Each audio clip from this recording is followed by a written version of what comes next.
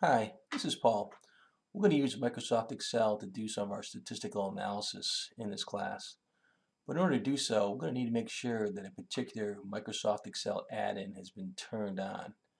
Um, this little video is going to show you how to do the turning on the add-in in Microsoft Excel 2007.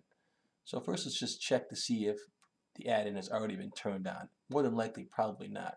So we're going to is go up to the tab where the data tab is and click on that data tab. And if you look over here on the right hand side there's actually nothing there showing and that's where we would expect to see this data analysis tool pack showing. So here's how we're going to go ahead and turn it on in Excel 2007. So first you're going to click on the Microsoft Office button that's in the upper left hand corner. If you click on that you want to go down to where it says Excel Options. Click on Excel Options. It'll bring you up this new window. You see this window here in the left hand side, there's a spot here that says add-ins. So select the add-ins.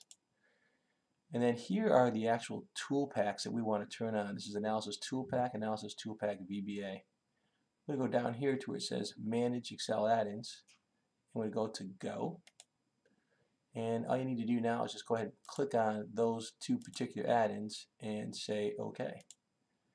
And once I've done so, I think you'll see now over here in the upper right hand corner of the top of the actual spreadsheet, you'll see there is now an option to do this data analysis. And we'll be using that data analysis tool pack to do some frequency plots and some other statistical analysis much later on in the course. So this is how it's done in Excel 2007. I have another video for those folks who are using Excel 2010 or 2013. So good luck.